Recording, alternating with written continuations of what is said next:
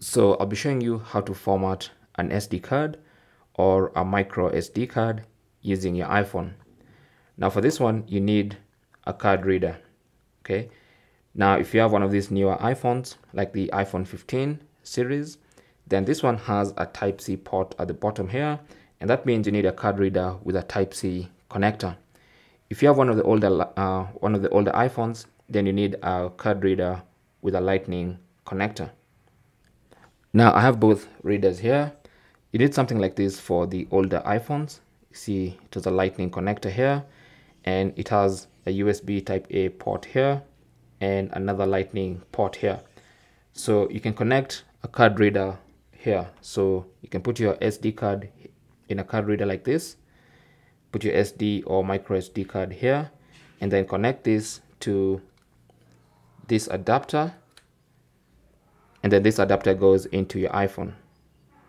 But for these newer Type-C iPhones, all you need is just one Type-C adapter.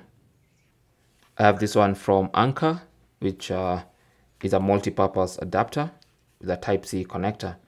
Okay, so all I need to do now is connect this adapter into the Type-C port on my iPhone and then put the SD card or micro SD card into this multi-purpose adapter okay?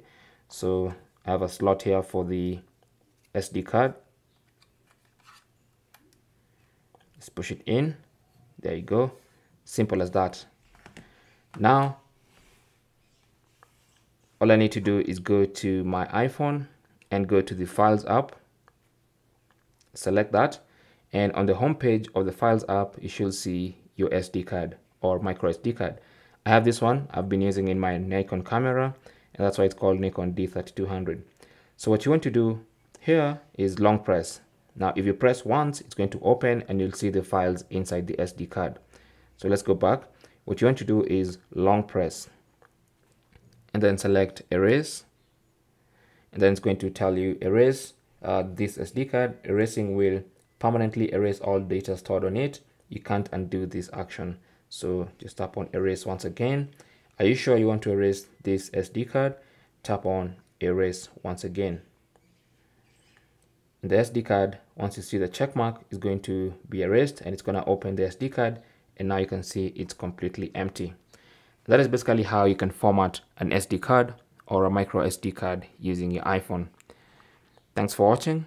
Leave your comments and questions down below and good luck